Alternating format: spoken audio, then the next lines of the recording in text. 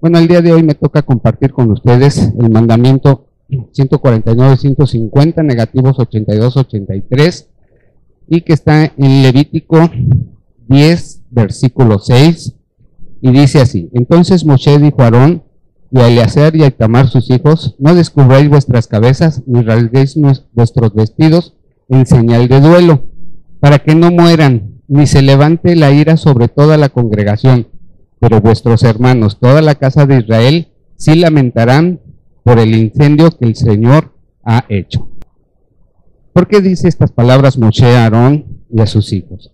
¿Qué está sucediendo? Vamos a tener que ir desde el versículo 1 hasta el versículo 11. Vamos a leer para ver qué sucedió. Dice la palabra. Nadad y Abiú, hijos de Aarón, tomaron cada uno su incensario y pusieron en ellos fuego, sobre el cual pusieron incienso y ofrecieron delante del Señor fuego extraño, que él nunca les mandó. Y salió fuego de delante del Señor y los quemó y murieron delante del Señor. Entonces dijo Moshe a Aarón, esto es lo que habló el Señor diciendo, en, lo que a mí, en los que a mí se acercan me santificaré y en presencia de todo el pueblo seré glorificado. Y Aarón cayó. Y llamó Moisés a Misael y a Elzafán, hijos de Uziel, tío de Aarón, y les dijo, acercaos y sacad a vuestros hermanos de delante del santuario, fuera del campamento. Ellos se acercaron y los sacaron con sus túnicas fuera del campamento, como dijo Moshe.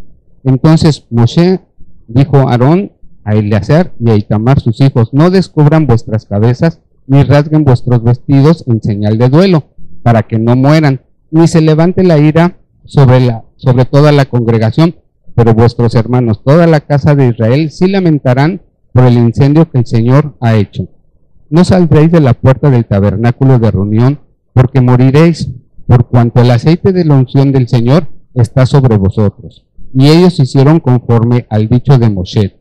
Y el Señor habló a Aarón diciendo, tú y tus hijos, tú y tus hijos contigo, no beberéis vino ni sidra cuando entren en el tabernáculo de reunión, para que no mueran. Estatuto perpetuo será para vuestras generaciones, para poder discernir entre lo santo y lo profano, y entre lo inmundo y lo limpio, y para enseñar a los hijos de Israel todos los estatutos que el Señor les ha dicho por medio de Moshe. En el versículo 9 se habla de que no deben de beber sidra ni ningún, ni ningún licor fuerte. De aquí se toma un comentario muy fuerte, que se piensa que Nadad y Abiú entraron al tabernáculo borrachos, entraron tomados. Entonces quebrantaron esto muy fuertemente. Y por si fuera poco se les ocurre hacer algo que tampoco el Eterno les había pedido. Probablemente pues había un cargo de conciencia por estar borrachos y dice vamos a hacer algo para pues lograr empatar esta falta. El problema es que lejos de empatarla la complicaron más quedaron 2-0 en contra. Habían hecho ya cometido una falta y después, en lugar de hacer algo bueno que pudiera recibir el Señor, cometieron otra falta. Entonces el Eterno pues no los perdonó. No perdonó estas dobles faltas ¿sí? para estas personas y los consumió totalmente en fuego. Pero el día de hoy, ¿qué sucede el día de hoy, por ejemplo, en relación a algo como esto? El pueblo judío viene o guarda eh, luto, eh, se llama, eh, para el pueblo judío se llama Shiva, guardar luto o duelo. La palabra Shiva viene del número 7, entonces este duelo o luto dura durante 7 días para la familia, son 7 días. ¿Qué sucede en esos 7 días? Bueno, comienza el mismísimo día del funeral.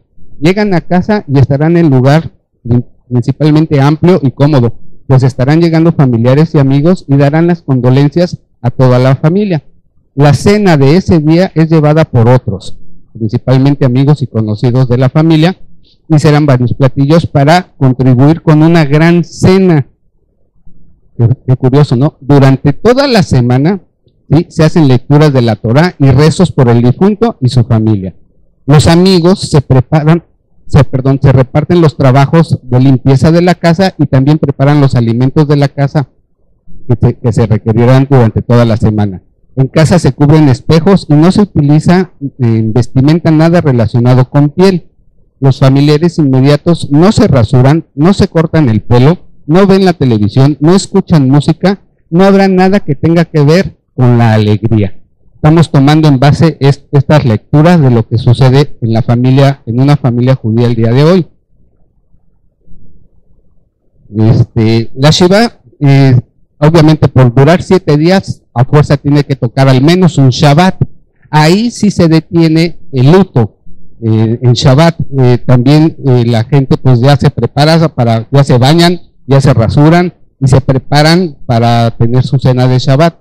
Curiosamente, es un cambio total de, vida ese día. También si por alguna razón tocaran fiestas este, como Rosh Hashanah, Yom Kippur, Sukkot, Pesach y Shavuot, de igual manera se detiene el luto. No puedes continuar con el luto en esos días y tendrás que tener tus festejos. Cuando terminan los siete días, el Shiva, toda la familia vuelve a sus actividades normales. Bueno, no sé cómo vean todo esto, pero qué difícil tener, si nos pasa a alguno de nosotros, tener que hacer algo así. Sobre todo el poder tener en nuestro, en nuestro corazón un, ahora sí un comportamiento de acuerdo a la palabra. Y no está hablando de que nos volvamos hipócritas, ¿no? Sino tener un comportamiento de acuerdo a la palabra de Dios, al mandamiento. A mí se me haría algo complicadísimo. Pero bueno, ¿Por qué les, les pide esto a ellos? Recuerden que ellos son figuras públicas. Ellos son figuras que están al frente todo el tiempo de la comunidad de Israel en este caso. Hoy en día, pues, ¿quiénes son? Pues son los pastores, son los, líderes, son los maestros, los que están al frente, y que también debemos de tener o deben de tener una actitud así cuando estamos al frente. Imagínense si eh, el propósito más grande del sacerdote es llevar a la comunidad al nivel más alto posible de santidad, imagínense cómo lo va a lograr, pues teniendo una cabeza agachada, una cara de tristeza, eh, a lo mejor lágrimas y estando aquí al frente. Imposible. Nadie lograría llevar a un nivel de santidad a nadie en una situación así. Por eso el Eterno está cuidando todo esto. Pero bueno, ¿dónde más vemos algo que sucedió así? En Lucas en Lucas 9 tenemos también algo que aconteció parecido. También Mateo 8 viene este pasaje, pero el de Lucas es más amplio. 9, 57, 62 dice, cuando iba por el camino, alguien le dijo a Yeshua, te seguiré a cualquier sitio que vayas. Yeshua le contestó, las zorras tienen sus cuevas y las aves tienen sus nidos, pero yo, el Hijo del Hombre, no tengo ni siquiera un sitio donde descansar. Eso desanima a cualquiera, ¿no?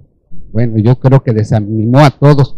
Pues al siguiente, Yeshua fue el que le tuvo que preguntar, ya nadie se volvió a acercar, ¿verdad? Entonces tomó la iniciativa una vez más, Yeshua, y le dice a otro, sígueme. Pero él respondió, Señor, primero déjame ir a enterrar a mi padre. Fíjense lo que le contesta Yeshua. Lo importante es que tú vayas ahora mismo a anunciar las buenas nuevas del reino de Dios deja que los muertos entierren a sus muertos.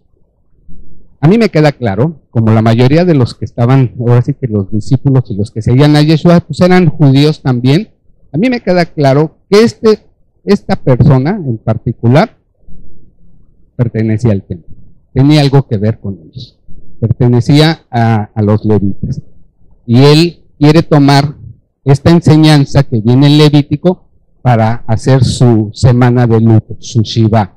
Pero él, en este caso Yeshua no se lo permite, le dice que no, no es posible que lo hagas, tu trabajo es otro, eso lo pueden hacer otras personas, pero tú no, le dice que no, que él vaya, dice, y anuncie las buenas noticias del reino de Dios.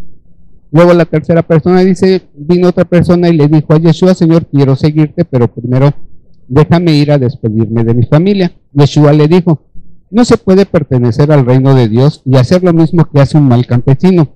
Al que, al que se pone a arar el terreno y vuelve la vista atrás, los surcos le salen torcidos. Esta es una versión diferente, no es la Reina Valera. Me gustó esta versión y la tomé. Bueno, vemos esta enseñanza también de Yeshua con respecto a esta persona, que no le permite ir a hacer su, su condición de luto porque su padre ya había muerto. Bueno, entonces, pues, ¿qué nos queda por hacer? Digo, la situación no está fácil para estas personas, para Aarón, para sus hijos. Imagínense el impacto que sería si estamos ahí presentes las cinco personas y vemos que pues dos están haciendo cosas incorrectas y en ese momento fuego y los consumen. Y son nuestros hijos. Son tus hijos. son mis hijos. Consumen a tu hijo, ¿no? Por estar haciendo cosas indebidas. Nadie se los pidió. O sea, tenemos que tener una actitud de que no se nos puede ocurrir lo que nos dé la gana y hacerlo.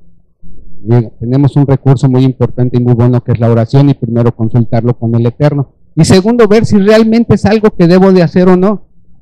Es algo que tengo o no que hacer.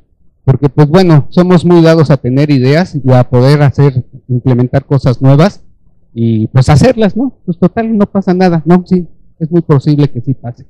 Entonces, yo los invito a que tengamos mucho cuidado. Probablemente no lo veamos muy propio, muy personal, porque está dirigido al sacerdocio, pero finalmente en nuestras casas también hay sacerdocio. En nuestros hogares también hay gente que nos está viendo. Imagínense una semana mala en la que yo me encuentro, a lo mejor me quedé sin trabajo, no cerré el negocio, o pasó algo fuerte, y mis hijos me ven con una cara de total tristeza, ¿y cómo me los voy a traer? a la comunidad, ¿no? O sea, tengo que tener una actitud en ese aspecto como sacerdote, como responsable de mi hogar, de tener un corazón y una vista para con los demás que no sea precisamente la peor, ¿no? O sea, luego por eso no vienen, ni siquiera yo quiero venir, ¿cómo van a venir ellos? Sea, no es así. Bueno, mm, en una ocasión leí que cuando nueve de cada diez personas que mantienen un luto muy largo, probablemente sea más por remordimiento que por los recuerdos que tienen con esa persona. ¿Por qué remordimiento? No pasé suficiente tiempo, no le dediqué las cosas que le gustaban, este, me salí y estuve en otro lado, eh, no conviví, no nos divertimos juntos. Ese es un grave problema que está sucediendo en muchos hogares. Realmente no es que sea un luto muy largo, es que el remordimiento no todavía no sale de mi vida, nada más de recordar todo lo que no hice con esa persona. Yo les invito a que de verdad pasen mucho tiempo con sus hijos, con sus esposos, sus esposas, padres, hermanos, porque sí puede haber un gran remordimiento el día de mañana. Fíjense que en el teatro hay unas palabras muy fuertes. Cuando sucede algo así, eh, alguno de los actores muere, ¿saben qué dicen ellos? El show tiene que continuar. Se abre el telón. ¿Qué importa quién murió? Se abre el telón y la gente que pagó su boleto ahí está y ese día hay función. Y por si fuera poco, hay otro dicho que en lo personal me gusta mucho y sí, sí lo he, lo he compartido. Al mal tiempo, ¿Se acuerdan? Buena cara. Al mal tiempo, buena cara. A lo mejor estas dos cosas las sacaron de estos versículos, ¿no? Y para finalizar, se dice que el Eterno no le habló a Jacob por tener ese luto tan largo por su hijo Joseph durante varios años.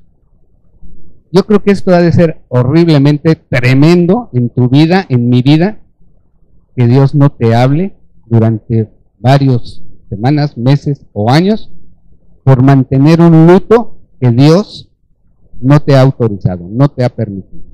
La muerte finalmente es algo que también Dios trae a, las vidas de las personas, bueno, a la ya no vida de la persona, ¿no? Entonces, pues confiemos que Dios está haciendo lo correcto. Número uno, no hagamos ver con nuestra actitud que Dios fue injusto. ¿no? Eso le pide a Aarón y a sus hijos. Dios no fue injusto y tampoco hagamos cosas que nada más se nos está ocurriendo. Ay, mira, se me ocurrió esto. Ay, mira, se me ocurrió el otro. Yo te invito a que te pongas a orar. Yo te invito a que lo comentes con alguien antes de tomar la iniciativa. Si se puede con dos diferentes personas y pues que te den un punto de vista. Y esperar que pues todo eso sea realmente bendecido y prosperado por el Eterno. Pues que Dios les bendiga, les prospere, les dé una, un lindo Shabbat lleno de mucha alegría y bendiciones. Shabbat Shalom.